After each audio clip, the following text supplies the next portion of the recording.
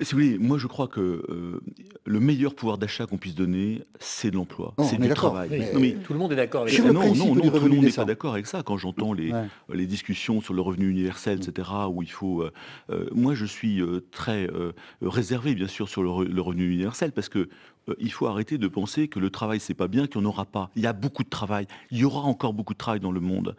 Euh, donc ça, c'est important. Pourquoi? Ben, Parce que l'Afrique est à équiper, parce que le monde s'invente, parce que le numérique apporte des usages, des applications, des services nouveaux, parce que dans le service à la personne, il y a tout à faire, tout à inventer. Et aujourd'hui, il faut débrider l'emploi en France. Quand je vois des chefs d'entreprise sur le terrain, qu'est-ce qu'ils me disent? Ils me disent j'ai pas les marges. Je peux pas embaucher parce que j'ai pas les marges.